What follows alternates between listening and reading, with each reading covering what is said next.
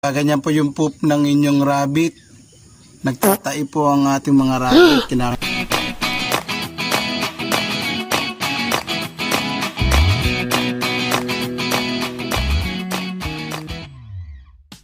Ayan mga ka-vlog, welcome back to my channel. Ulit po muli ang inyo pong sa Pubs.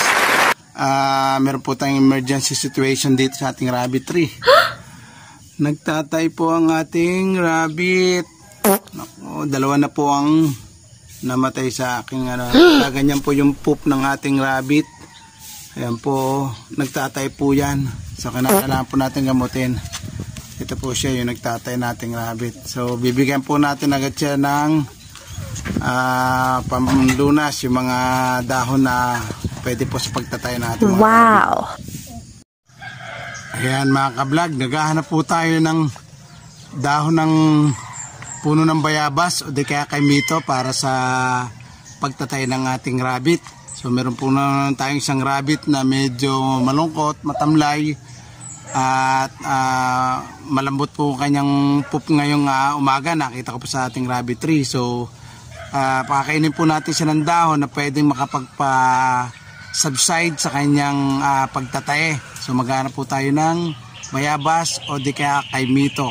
Eh mga ka-vlog, nakakita tayo ng bayabas. Puno ng bayabas ito. Kukuha pa to tayo ng talbos. Yung pinakadulo po, yung pinakasariwa. Ito po yung panggagamot natin sa pagtatay natin ng rabbit.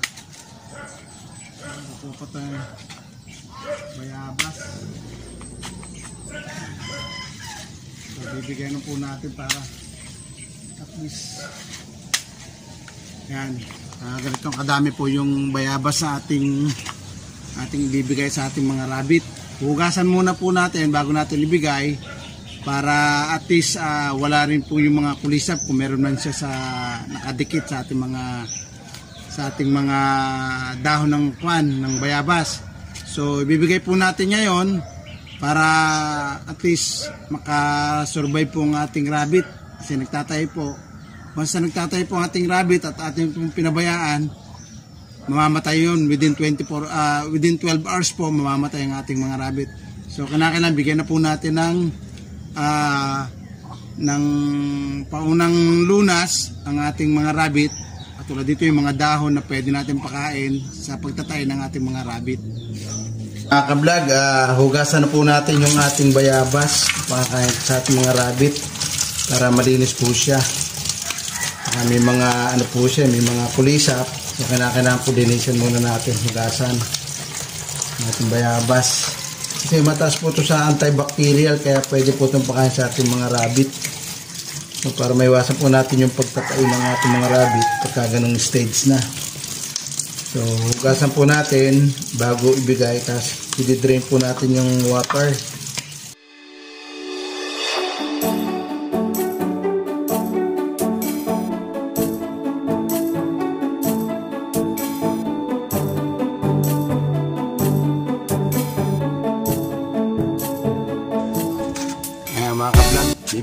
Natin ng ng dahon ng bayabas yung ating rabbit na malungkot. So, ayan po. Nakita niyo po, malungkot pa rin po siya. So, ito po. Ayan o. Hindi pa po siya kumakain o. Eh, dati po, lakas niyang kumain. So, bibigyan po natin muna siya ng ah, na dahon ng bayabas. Ayan mga ka-vlog, bibigay na po natin yung hinugasan nating ah, dahon ng bayabas para makakain po ang ating rabbit ng ng sa susunod na oras kung iigi po siya. So, ito po, ibigay po natin ganyan. Direct, direktan nyo na pong ibigay para huwag nyo na pong padadaanin sa grass feeder kasi medyo mahirapan po siyang kumuha noon. So, ibigay nyo na lang pong ganyan para yan, makakain po siya.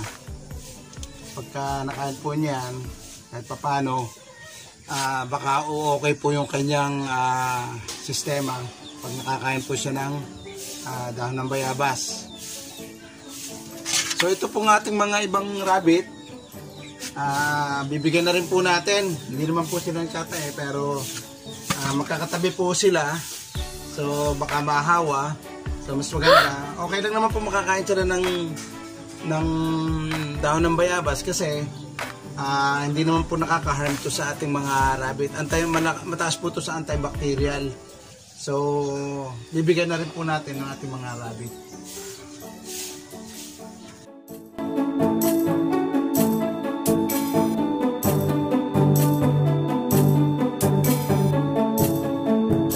Sana kumain po ng dahon ng bayabas ng ating rabbit para uh, umepekto po sa kanyang sistema kasi pag hindi pa siya kumain nito, useless din po. Yun po yung mahirap sa ganito. So, yung mga dahon po natin, kinakailangan makain po nila para umepekto. Pero pag hindi po nila nakain yan, useless din po. Pero much better po na mag- makapaglagay po tayo kahit papano. Pagka meron po siya ng chance makakain, edi epekto po.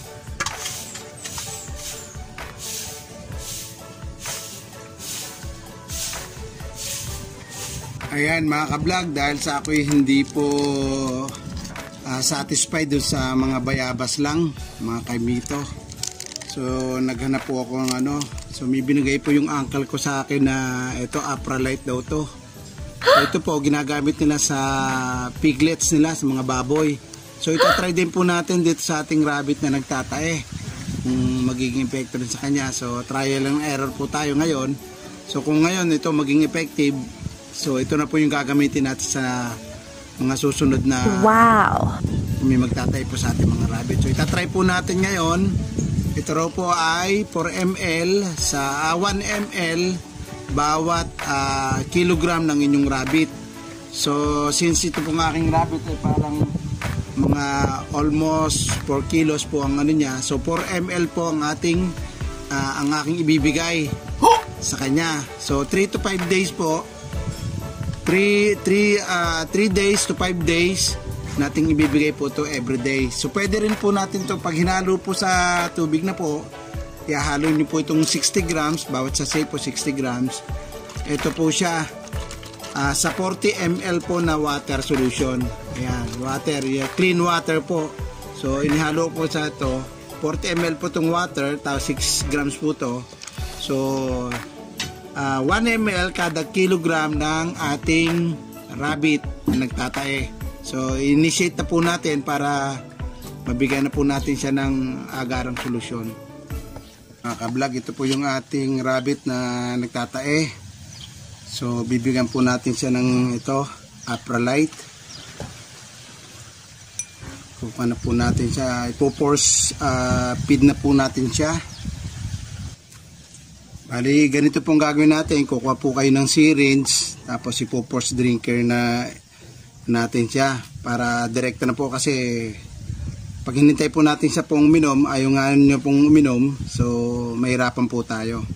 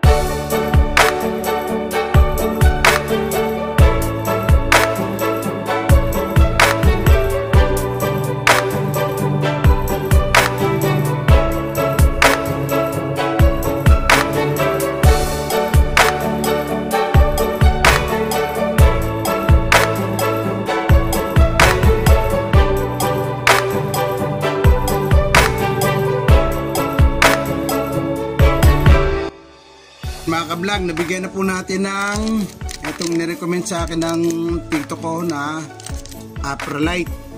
So, ang binigay po niya na to ay 6 grams.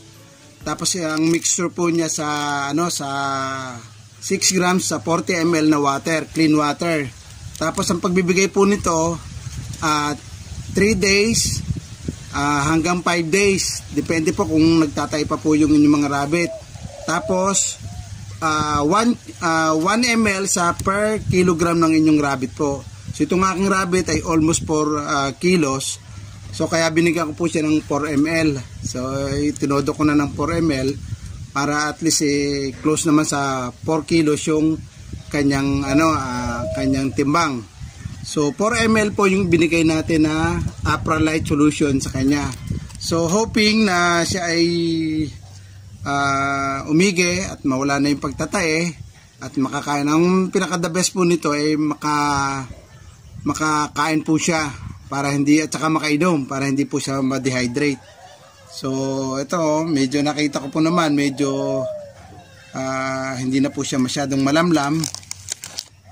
So yan po yung ating rabbit na binigyan natin ng solution na Apralite. So ngayon lang po ako nakagamit ito.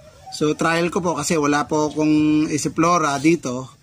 So, in-recommend po sa akin ng uncle ko for immediate uh, immediate uh, reaction natin sa mga rabbit nating nagtatae. So, ganun sa ganitong kwan. So, parang bloated din tong aking rabbit. So, titingnan natin kung effective po to sa kanya.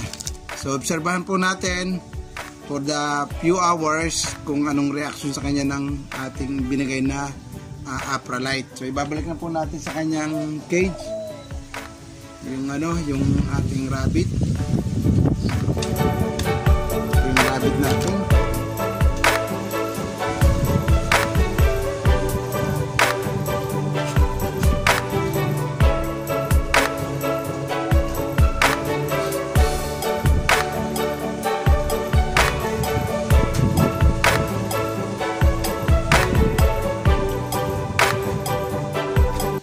Ka-vlog, nabigyan na po natin ng uh, Apralite. Yung itong ganito po, yung mixture natin. So, hoping na umigi po yung ating rabbit. So, ang mahirap po kasi hindi niya kinakain tong ating uh, bayabas. So, kahit lagyan po natin ng bayabas, tapos hindi po siya kinakain niya, so useless po baka mamatayin din po tayo ng rabbit. So hoping na meron tayong immediate reaction na ganito mga liquid, mga powder, ito na lang po yung the best thing natin na gamitin para ma-force drinking drinking natin yung ating mga rabbit at matake po nila, ma-inject po nila sa kanilang digestive system yung yung solution. So, mas very fast po yon. So, hoping na kuman po yung ating rabbit umigi na at ano. So ito po muli ang inyong Sir Pubs uh, keep safe BLT and be strong. Bye bye